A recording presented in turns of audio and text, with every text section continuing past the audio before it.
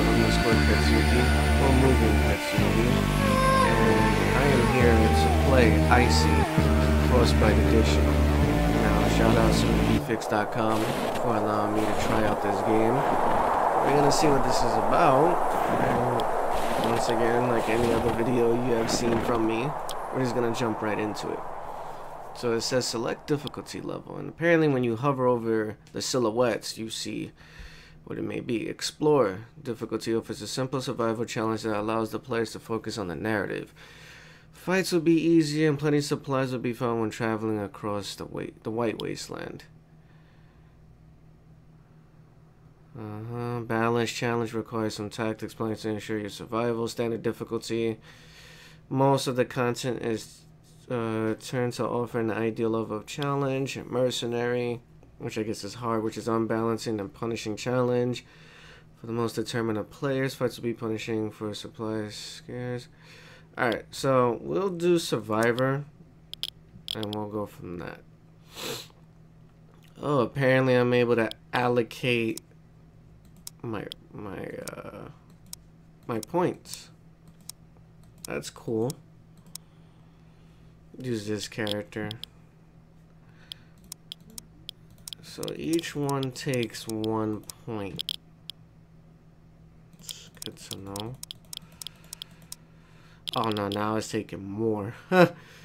okay, firearms is a must. Hunting is another. Alright.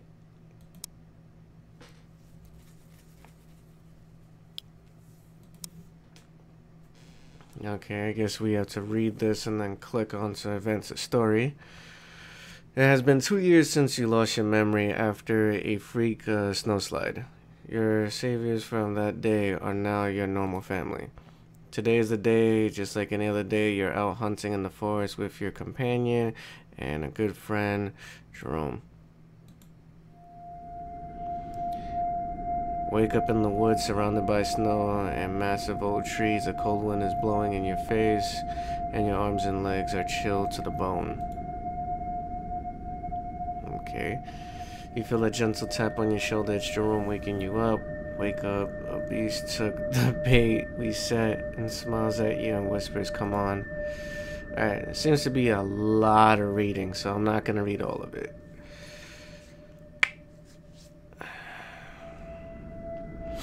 Let's see, you feel confused and the waggling no disoriented, but you manage to get on your feet. The old man looks at your feet and smiles, waiting for your brain to start working again.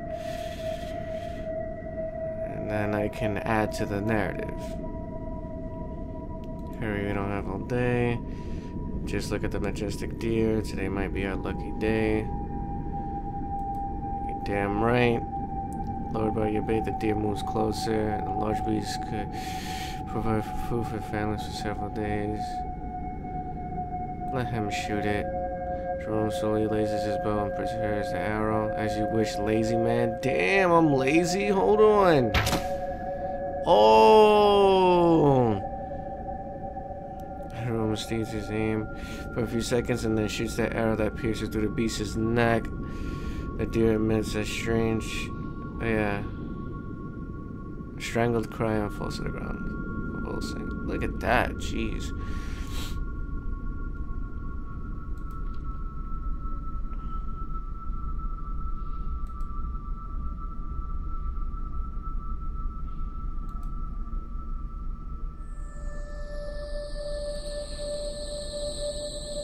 Okay, the map is divided into, into nodes. Click on the nearby node to move towards it.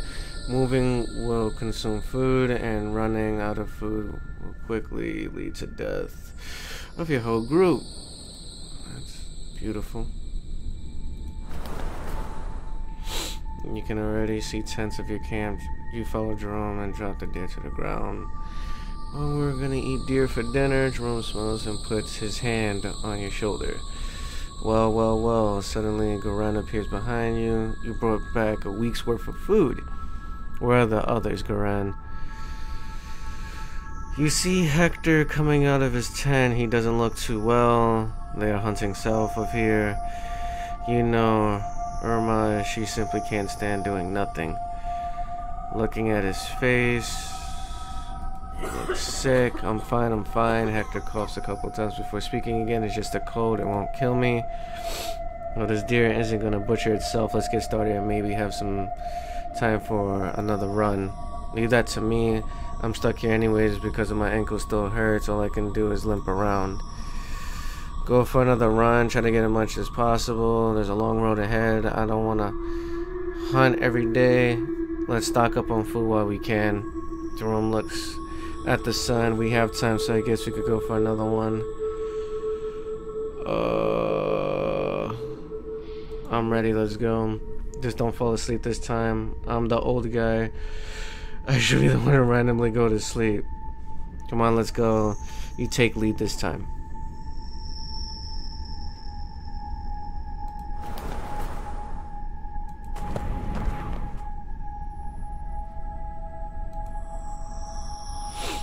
Each nook can have different places in it in which you can scavenge food or hunt for food.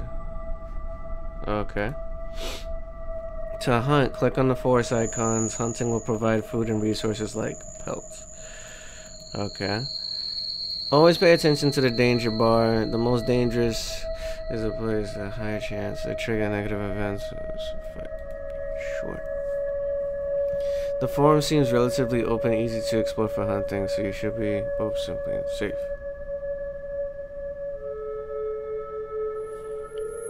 Success. After taking your time and carefully exploring the woods, you you regroup in the open area and gather what you have found. Take all.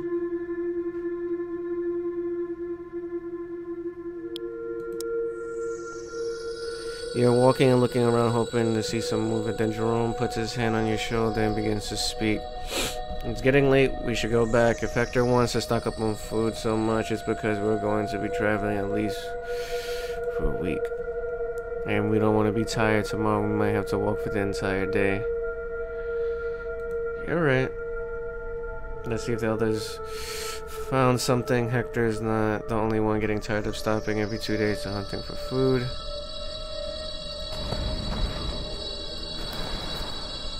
Finally, I need some rest. Take a look around the camp. Your companions are talking and talking, uh, taking care of dinner. Looks like everyone has made it back safely. Warren approaches you. So how did it go? Come near the fire. Dinner is almost ready. You will need it for tomorrow. Hector seems eager to move out as soon as possible in the morning. You take your seat near the fire, exchanging greetings with the others. Irma, Grun's wife, starts uh, giving out the plates of cooked meat to the group. Let's all be thankful to our hunters for the meat we are about to eat. Hector coughs after speaking. Willie tells where we're headed. Not far from here tomorrow, we will go to a nearby town for scavenging. I hope to find something useful for our upcoming travels there. You know what I mean? Where are we going to end up in the long run? Where will we spend the winter? We will travel south far from any common route. We must get away from the plains. Hector coughs again. The plains are becoming dangerous, and I'm not talking about all the bandit activity. There are rumors of red horsemen prowling the area and increasingly growing in numbers. What does it mean? I'm tired of traveling without a purpose. We've always stayed in the plains. Why should we travel to an unknown lands? Don't worry, it's all snow and cold, just like here. You won't be missing much. I don't care what we do. If the plains have become that dangerous, then we should probably leave. I won't put my children at risk without reason, and traveling away from uh, any known route is a huge risk, especially when the only thing we know is what is going south. Hmm.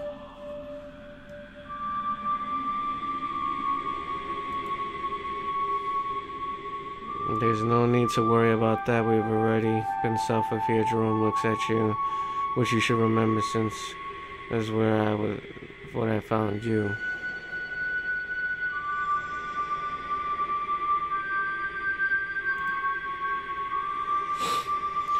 Exactly, it would be a hard winter if we just spend it walking on the mantle.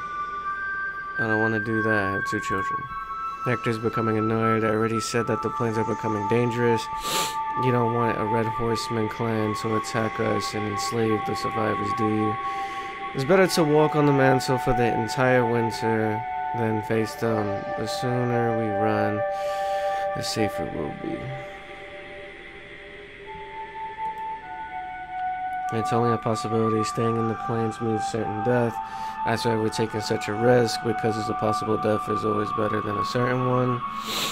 It's simply random walking walk around and hope that everything will be end up just fine. You can barely breathe right now. We can't rely on luck to survive. We need a plan. Now Hector is just becoming angry. We're not walking around without a purpose. We're running away from certain death. I'm sorry if I'm unable to foresee the future, but we have more of a chance to survive without shelter for the winter than, than by finding one in the plains, just to be attacked by the horsemen. Do you think I'm unable to see the risk we're running into? Do you actually think I'm an idiot? We have no a violent cough, Fitch chokes out Hector's words. Take it easy, pal. We need you alive, despite what Irma says. Hector waits a moment before speaking again. We're going south because I think it's our best chance of survival. End of discussion. Nothing of importance happens for the rest of the evening. You eventually go to bed and to prepare yourself for the next day. And I was like instant. You wake up in the morning hearing voices coming from outside Hector, and the others are preparing the plan for the day.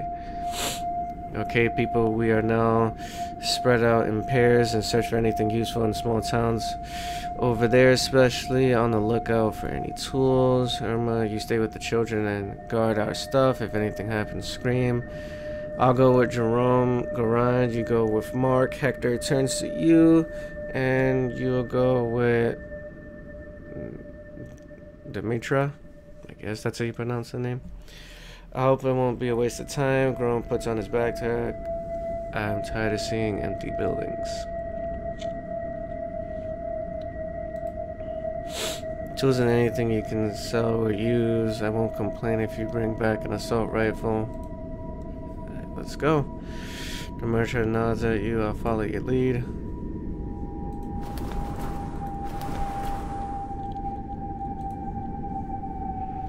Scavenging is like hunting, but it's uh, initiated by clicking on the building icon. Scavenging is the best way to get items and crafting resources. Always pay attention to the danger bar. Yeah, you know about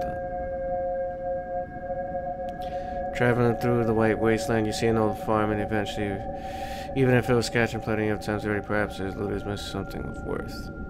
Okay. Success. Your group spreads across the farm building and starts searching for loot. Even though the place has already been ransacked, you nevertheless find a few handy items. It's close to nightfall. We should head back to camp. Demeter stops in her tracks. I'm getting shivers all over. It's not from the cold. It's something dark out there waiting for us to close our eyes. And it may take us by surprise. What do you mean? Something dreadful ahead of us, expecting to drop our guard, waiting for the right moment to strike. We'll stay vigilant. Let's just hope that you keep your eyes open enough to face whatever awaits us. We better move while there's still sunlight.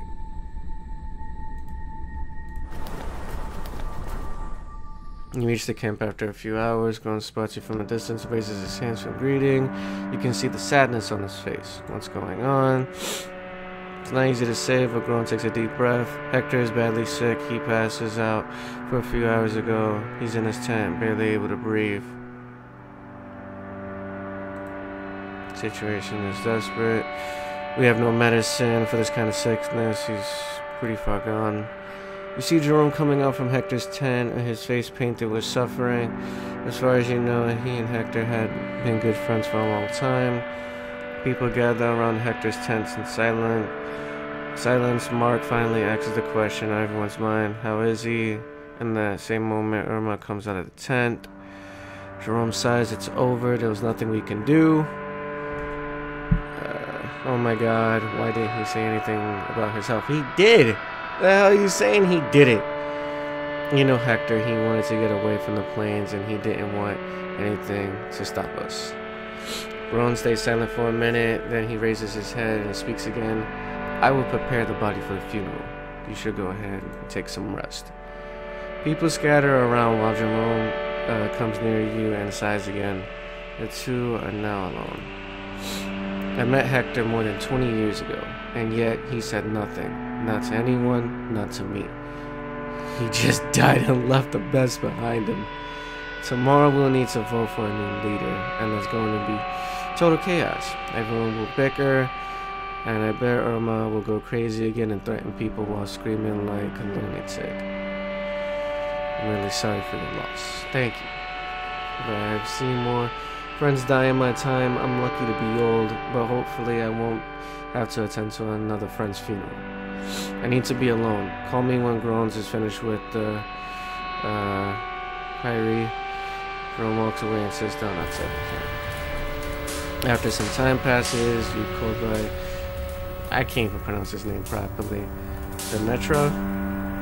Everything is ready for the funeral. Everyone gathers around the big stack of wood.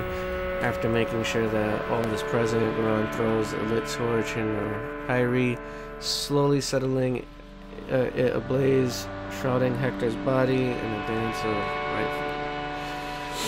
Jerome says nothing, but the sadness on his face is unmistakable. he just stands in front of the pyre and stays there even after everyone else is gone. You are tired, so you proceed to your tent hoping to get a decent night's sleep.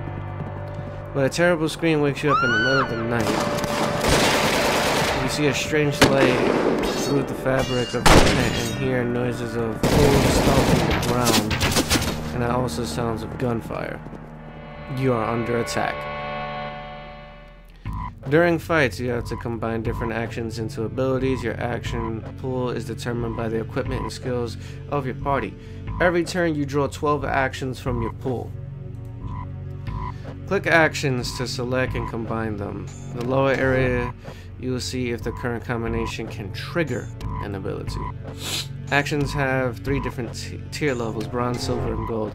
The higher the tier, the more powerful the ability effect.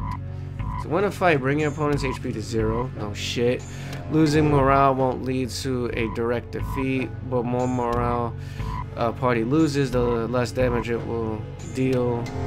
Raising morale, on the other hand, will improve damage being dealt. Penalty actions cannot be, uh, yeah, combined other actions, more penalties you have in your deck, plus useful actions. Items can be consumed once per turn, so in addition to your current pool, bullets are also used with standard abilities involving the use of firearms. Select your weapon.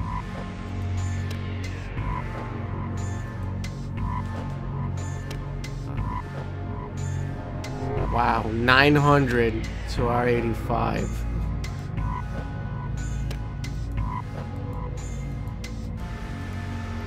I guess that's all I'm able to pick.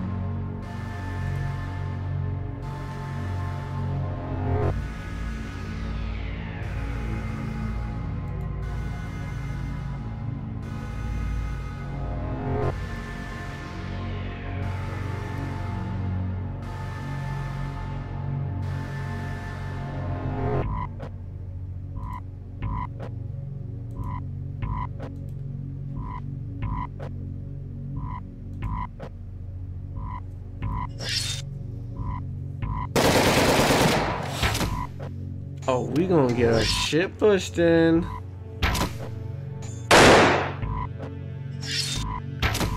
Yeah, we're dead. Like, that's, that's like instant game.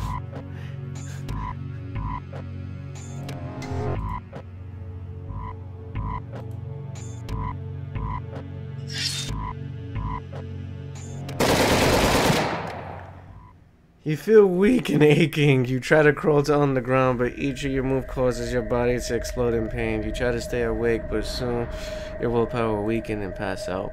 After that, there's only darkness. You don't know how long you'll stay unconscious. Strange dreams creep into your dormant mind. Dreams of different place of a different time. You see a shiny tower rising towards the sky.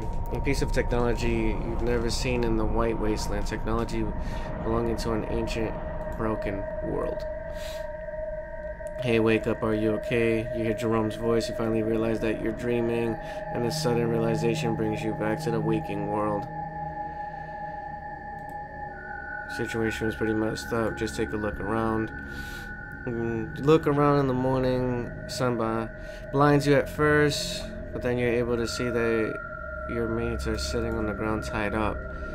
You're not the only prisoners, as the other people here seem to share your situation. Armed bandits are guarding the area. You can see many people, many tents scattered around, so it's difficult to assess how many are there. Running away from them won't be easy. They have guns and everything else. They need to keep us in our place. You'll never escape. We tried, but there's too many of them and their horse they have horses and guns. Excuse me. If they want us alive, I feel of these slaves. Precisely. We all know how slaves are treated, like animals. I won't be beaten again just because of one of us wants to do something stupid. They'll beat all of us, Joseph. But what should we do? Just wait here and be sold as slaves? Long story short, we tried to run away during the night. They found us, beat the shit out of us. End of story.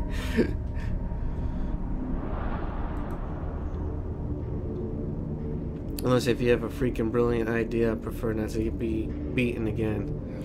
Screw you, I'd rather die than be a slave. We're leaving. I don't know how, but we're leaving. The stranger smiles slightly. Sure, I'm really curious to see what you'll do. A bandit approaches you and starts shouting, Shut the fuck up, all of you. We're moving now. Prepare yourselves, it's gonna be a long walk. You know, the other prisoners start walking with your hands tied along the, band along the bandits' caravan. You're constantly under watch and unable to find a way to break free. Day after day, you become uh, resigned to your fate. The bandits are watching you all the time, and they don't even want to allow talking among yourselves. You barely get to know the ones you shared the ordeal. Uh, Carlos and April are a couple, and they were in the same group as Joseph when they got attacked and kidnapped. There's a young girl, Eva. She seems sad and never speaks. The only thing that you're able to discover is that the bandits killed her family. But finally, after walking for several days through the White Plains, something happens. The bad thing is that it doesn't look like it doesn't look something good, not at all. Yo, what the crap? You saw you saw three people um, peacefully approaching the bandits. They don't look like a common uh, survivors, even if the bandits who assaulted you, despite their abundant resources, are not that well equipped polished and shiny weapons, high-tech equipment, all the bandits. Look at these three people with reverence and awe. Never seen anything like this in the White Wasteland. One of the max soldiers speaks up in a feminine voice. Proceed with the test and let's move on. We have no time to waste. I'm sure they are good. Some of the prisoners are young and healthy. They'll be perfect for your needs. The woman slowly turns her face to, yeah, face the bandits and stands still for a couple seconds in intimidating silence. We'll see. They approach you and the other prisoners uh, and start using medical equipment to take some of your blood. They take a sample from each of you. They walk away after a few minutes. They come back again. The mysterious woman looks at Garan and Irma and then nods at her two companions. We'll take those two and their children. They're the only ones we're interested in. Do what you want with the others. We have no use for them. They walk away, taking Goran and Irma and the children with them. Jerome tries to stand up on his feet and protest, but then he is kicked in the stomach and falls to the ground. The mysterious strangers leave with your companions in tow. While they disappear into the mist, the bandits order you to get on your feet and start walking. Jesus Christ, there's so much story to this. So you're walking just like any other day with armed guards all around you, but then you hear some bandits shout out, you turn to see what's happening. At least 30 horsemen are charging the bandits, quickly descending from the top of a small hill. They are wearing red. These are the red horsemen, raiders and pillagers in the entire region.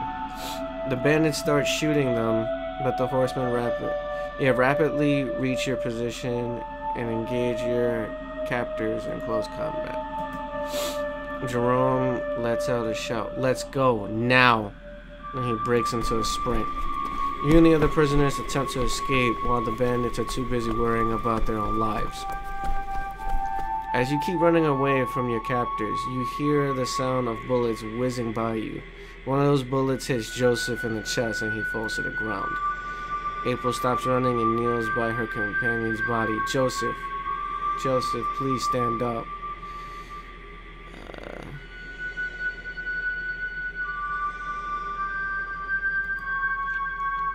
Carlos turns around and starts yelling at his wife. Joseph is dead. Run. You're still being shot at, but the bullets pierce the snow around you without hitting anyone. You're too far away to be an easy target. You see the uh, entrance of a tunnel ahead of you, and your group runs towards it. Your captors are now far behind, still busy fighting the horsemen. You take a last look behind you, you see no one coming after you. The tunnel is quite long, but after a few minutes you finally see the light and feel the cold wind coming from outside. You're now free to travel across the plains and explore the world. Hold the right mouse button to drag and move the camera on the map.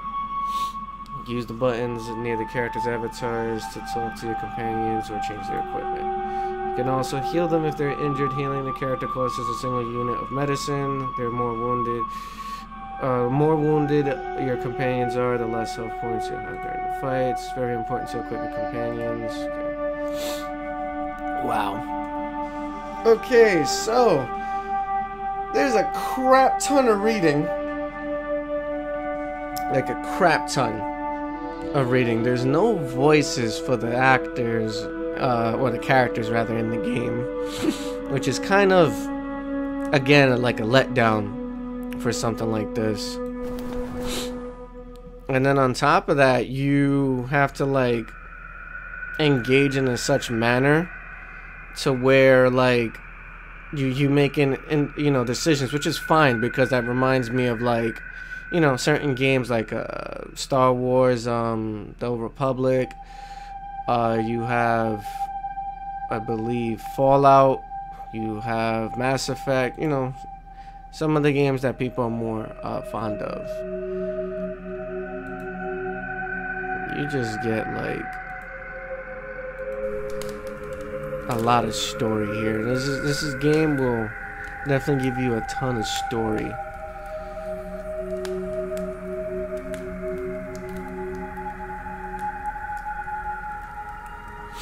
Like I said, I'm kind of like burnt out from reading like out loud.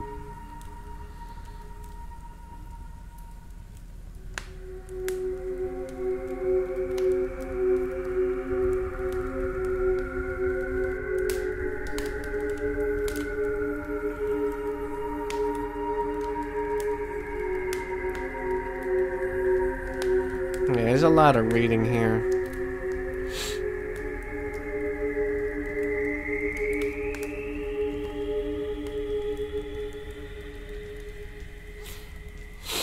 So if you're into reading and enjoying a story, this might be something of your liking. But again, it's a point and click game really nothing more. The combat is not too uh, in depth, I guess you can say, because you're you're based on a um, like abilities that your character may have, and you have to mix them, which is somewhat okay and interesting. And when you mix them, you may gain like an unlocked ability that you can use during that time of combat, and it's a turn base.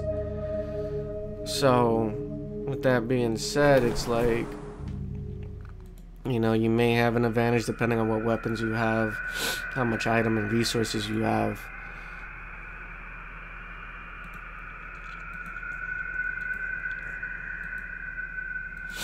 But yeah, this this game is definitely a lot, like a lot of reading.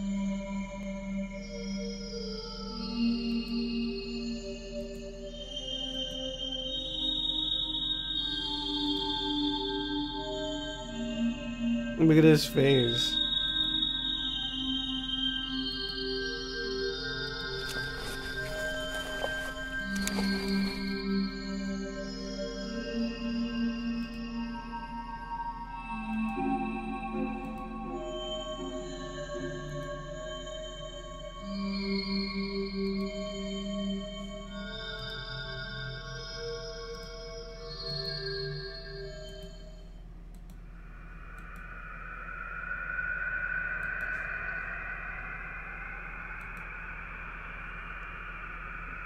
Okay, I got a gun, some rope, I got a crowbar, got more healing items, got some hatchet, more guns.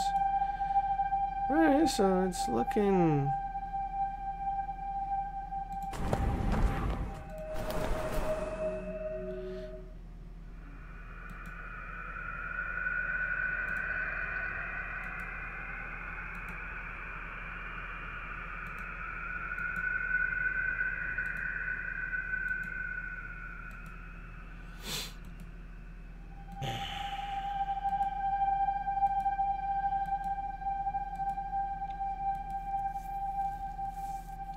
I really wish there was some voices. So it would be easier to like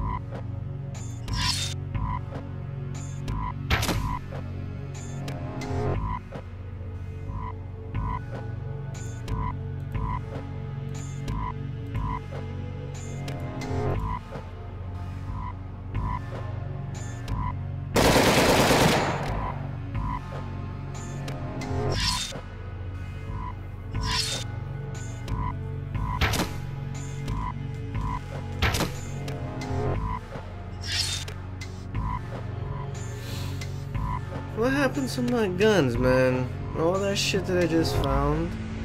Like, what the crap?